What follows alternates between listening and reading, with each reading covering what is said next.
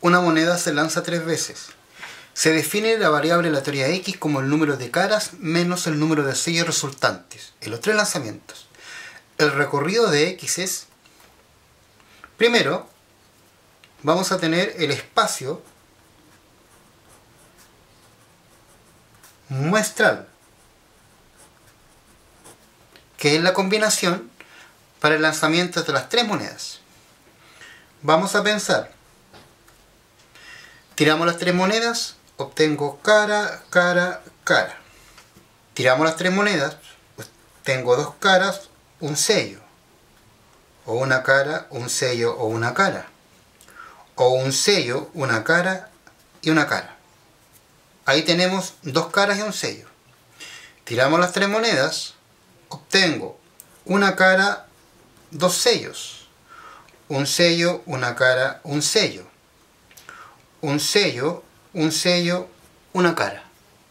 Y por último, tiramos las tres monedas y tengo tres sellos.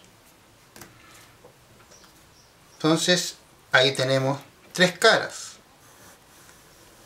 Aquí tenemos dos caras y un sello. Aquí tenemos una cara y dos sellos. Y aquí tenemos tres sellos. Entonces se define X. X se define como el número de caras menos el número de sellos. Entonces decimos, aquí tenemos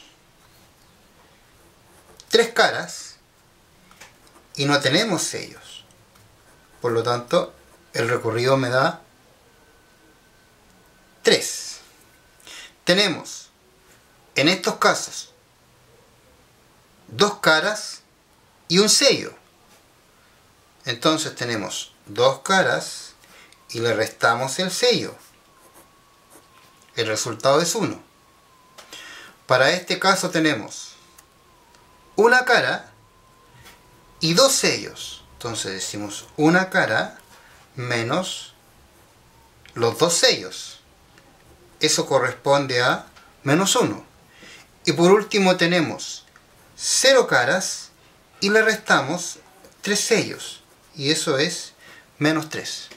Podemos decir entonces que el recorrido de x va a ser igual a menos 3, menos 1, 1 y 3.